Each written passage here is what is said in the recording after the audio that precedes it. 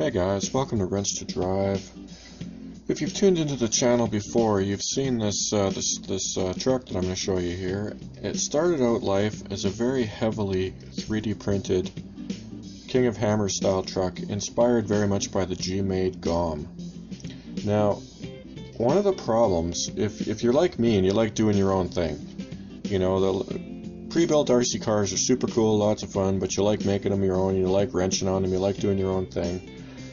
The problem with 3D printing is that it offers so much potential. The thing you figure out very, very quickly is that durability is a very, very serious problem, especially compared to modern RC cars, because modern RC cars are so durable.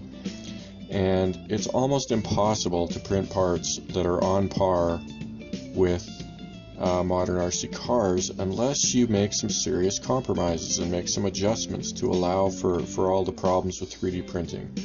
Now, in my experience, the, the areas where you're going to have problems are your axles, suspension arms, um, chassis parts, like parts that are going to have to take a heavy, heavy impact. That's where you're going to have your most problems, as you would probably expect. Now, the thing about that is, is that is that there there are some cures, and this this front bumper here you can see, this is made of TPU. It's a very flexible plastic. As you can see, it bends like crazy. Lots of flexibility there. It's really really strong. This stuff is durable, guys. The problem, as you can see, it's a little too flexible for a lot of parts. Like there's definitely things that you'd like to make out of this for the durability. It's got a little too much flex. Like let's say suspension arms. If this was a suspension arm, way too much flex, right? Like ah, that moves way too much to make a suspension arm, and that's you know kind of like a suspension arm for a big car, right? So that's a problem. But as you can see, this whole cage is uh, made of TPU except these red parts, and they should be. I was just too lazy to print them. You make a cage out of it, very very durable. And what this has become is a mod for the Traxxas TRX4 chassis and I decided to go that route. Uh, I mean, kind of not uh, not so much out of giving up because uh, the version I built was fairly durable. It, you know, it didn't break on a whim, but for sure you had to be nice to it. And uh, and this is a is kind of in line with uh, with that first iteration in that I'm still running these Redcat XR247 axles on a Traxxas chassis with the Traxxas two-speed transmission and that handy dandy 3D printed body.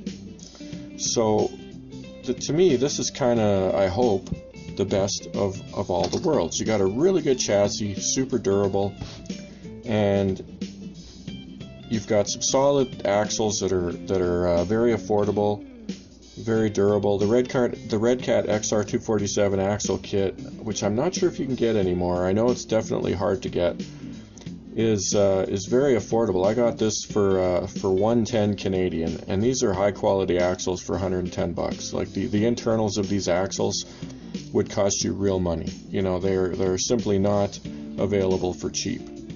So the nice thing about this is that obviously you can run Traxxas TRX4 axles if you are so inclined, and that's not a bad way to go. The, the only downside is that they're portal axles, which makes your truck sit up really high, gives you really good ground clearance, but in terms of speed, like a, a hammer truck that's kind of a combination between crawling and speed, if you run the TRX 4 axles, you're kind of going more for crawling, a little less for speed. Um, and I mean, that's a, a vast, vast generalization. Like, obviously, they're going to work.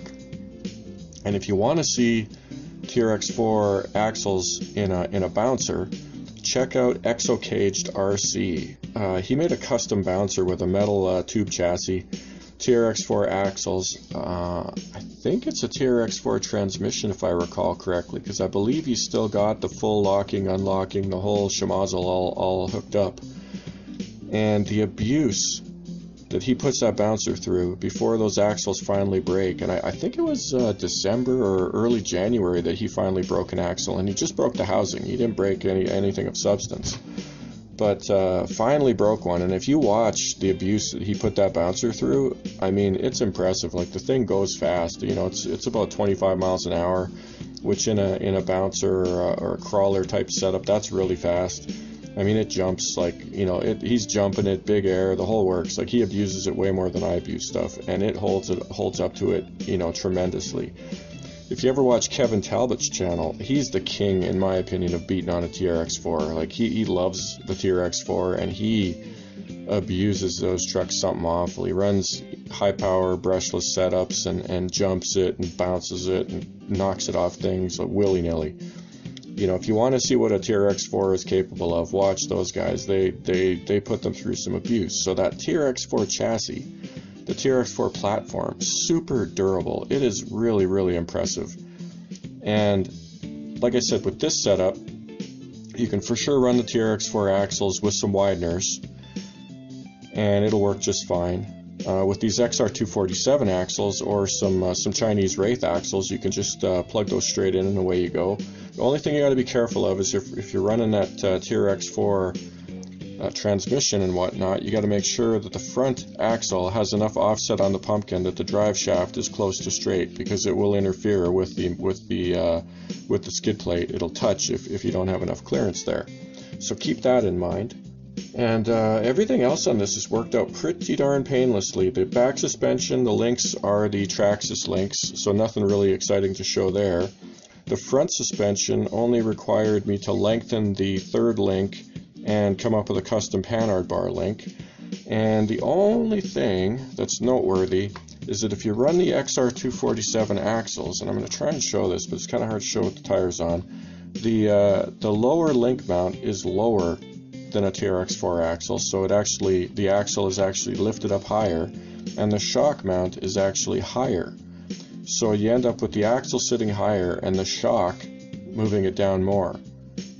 So you, you end up with a lot of lift. And I put in some droop springs in these shocks to uh, to suck them up a little bit and have it sitting a little more close to flat because I wanted this to have some speed. The result is that the suspension is quite firm but uh, I've just uh, I've just fired it up a couple times inside, and it uh, you know it pulls the front wheel and it, it lifts the back wheel under braking, and and it uh, it definitely uh, doesn't handle you know spectacularly as you would expect, but that that stiff suspension actually seems pretty good. It's uh, for speed, I think the setup is going to work fairly well. For crawling, we'll see. I'm actually running this 5200 kV 3650 motor in it right now because it's it's kind of the only 3650 I have kicking around uh, kind of up for grabs. That's a lot of RPM for this setup, and it cogs like crazy in high gear, but in low gear, it actually seems pretty good. And I'm guessing, I'm just going to go on a limb and say it's probably in low gear with the Traxxas transmission geared for somewhere in the vicinity of 15 to 20 miles an hour is my best guess just looking at it. Like it definitely has some has some speed. It might even be geared for more guys because uh, to be honest I was, I was kind of surprised you know kind of the way it drove just farting around inside with a couple of passes up and down the hallway. But um, obviously that is not the ideal setup that's way too many kvs for this setup that is it's it's silly and I'm definitely going to order a, a, lower kV motor to uh, you know to run this kind of more quote unquote properly. Now the upside is with a 2S battery, this you know it's it's kind of ideal if, if I if I want to run it for speed, just you know bombing across a, desert type uh, scenario, you know bouncing across some some small rocks and things like that. Uh, for crawling, the problem is you can't really gear it down enough to crawl effectively. It's it's not going to have much oomph in the crawling department. The way this setup works is you've got the front uh, body mount attached like a, like a bumper mount. So it's it's attached to the chassis here, and then I use zip ties to attach it to the to the cage. I switched the cage to use just a crossbar on the front to make it easier to attach to things, and then it just flips up. So you got a flip up cage. So easy for uh, for for minor working on or putting the battery in or whatever and also not difficult to remove if you want to do some some hardcore wrenching because it's, it's kind of in the way if you're if you're doing uh, real work so you just cut the zip ties and put a couple of fresh ones on when you're done then it's got TPU body mounts on the back shock mounts back here as you can see and you use body clips to hold that on and I added this brace on the back to absorb a little more oomph if, if you have some big hits. And it's again just uh, attached to a bumper mount with this big beefy uh, brace here, and it's got this uh, this clip that you just latch over the top to hold the uh, to kind of you know loosely hold the uh, the the cage in place there. Seems to work pretty well. We'll see. It'll you know got to test it in anger. You can still put a bumper of some sort on if you're so inclined, or or a tire mount or whatever because it's got these standard 43 millimeter spacing uh, bumper mount holes.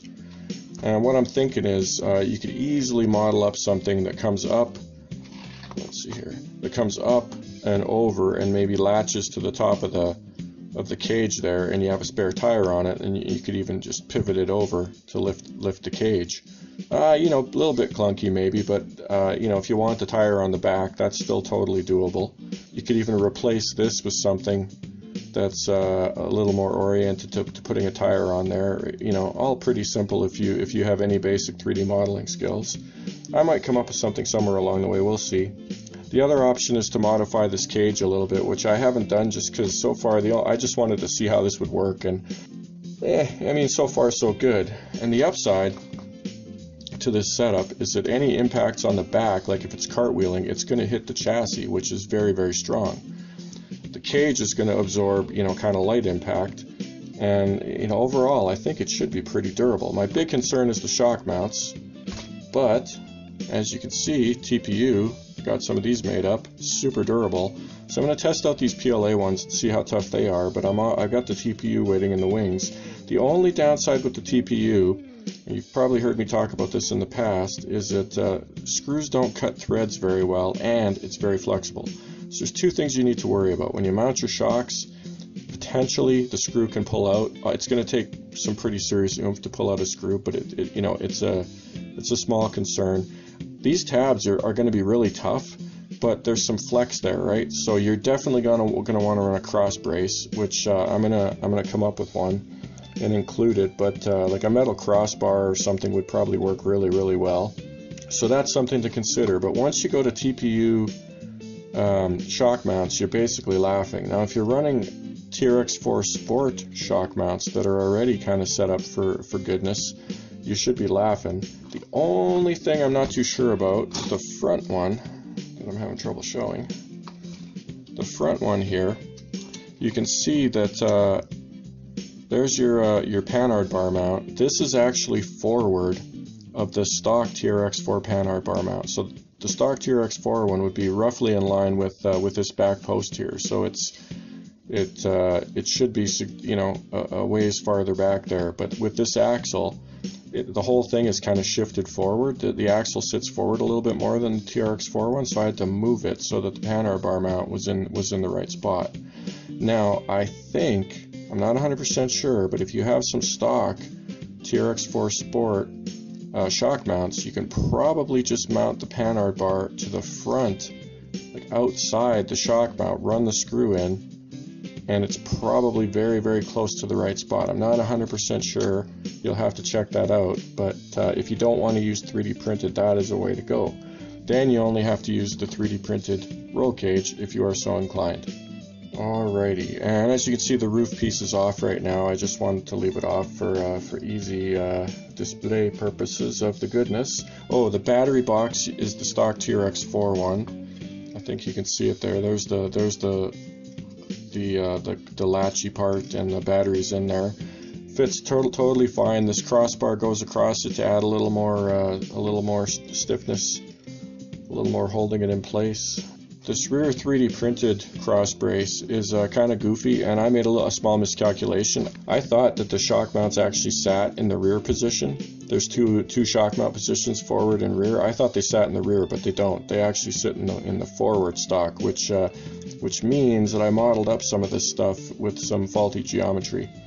The nice thing is that that actually lets you use the uh, the battery tray as a screw-in point for one of the one of the shock mount screws, and then all you need is uh, is another attachment point in the rear, which I uh, am just in the process of finishing up for uh, for that rear cross brace stiffener thingy, and you can use the Traxxas one if you're so inclined. So if you have a bunch of Traxxas parts kicking around like I do, you have that option. If you don't, that's why I've done up a 3D modeled one the uh, the floor pan that the ESC is mounted on. right here is just a little TPU floor pan that I made up just specifically to mount the ESC because I needed someplace to put it. The Traxxas floorboards are uh, slightly too wide. So if you want to take some stock Traxxas floorboards and cut them a little bit narrower, you can use those and have fully functioning floorboards. And they actually sit really nicely. As you can see, hopefully, the floorboards go kind of roughly from here to here. So they they actually sit pretty pretty nicely. I've, I've, I've just you know held them loosely in place to see, and they, they sit in place pretty well for this uh, for this body for this roll cage. So if you want to use those stock ones, you can for sure cut them, narrow them a little bit, and then uh, and put them in place, and it's, it's going to work just fine. I'm trying to decide if I'll do that or not because I, I have two sets. Uh, one that are, that are installed in a truck that I'm running, and one that are uh, kicking around because I needed uh, I needed the uh, transmission mount and stuff. And the whole set was uh, very affordable from Jenny's RC, as you've probably heard me talk about. So I do have that kicking around. I might mod them, and I'll show you if I do. But it's really easy. All you got to do is is uh, is cut them narrower, a little bit of measuring, and you'll be laughing. I, I don't think that's the hardest mod. You know, just with a rotary tool with a cutting disc or something, and just take your time. It'll be fine. I think that's it. These are super cheap shocks. Uh, nothing to get excited about. And as I said, the only problem this setup's a little bit stiff. Um, I'm, I'm, not uh, I'm not 100% sure. We'll have to see. I think it might work okay, but um, not too sure. The only thing I don't have uh, from a stock TRX4 is the shocks, so I'm not sure how well they'll work with this. I think they'd work okay because you can probably uh, turn the adjusters down, add some preload, and uh, and and, get, and stiffen up that suspension a little bit. But I'm not going to swear to that because uh, again, I don't have them. Not 100% sure. The uh, in general, crawler shocks tend to be quite soft, so uh, I suspect that if anything, they'll be a little on the soft side. Uh, but yeah, that's that's this bad boy, and there will be some running video, hopefully, you know, not too far down the road. But winter has been really nasty where I live. The conditions outside are just atrocious. Right now, it's it's uh, it's so insanely slippery. It's it's like a recipe to fall down if you even go outside. So, not the most motivating type scenario to go to go beating on your RC car.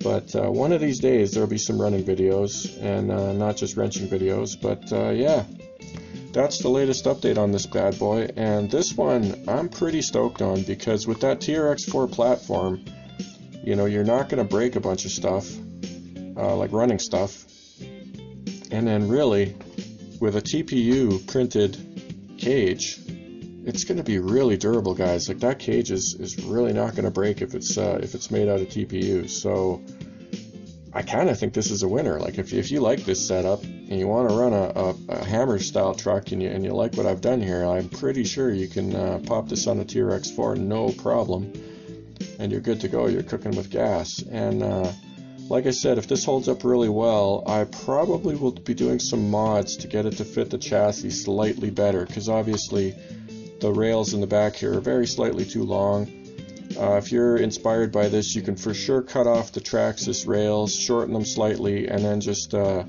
just use a, a, brace to mount the uh, the back points here onto, and, and kind of give it a finished look. Uh, or just leave it hanging out. It, it you know, it, it, it's not the end of the world. Or even cut them way shorter. Uh, you know, there's some options. Uh, it depends what you want to do. Um, so yeah, there you go. So that is all. Thanks for tuning in. We'll see you next time on Wrench to Drive, where we ask the eternal question Do you drive to wrench, or do you wrench to drive?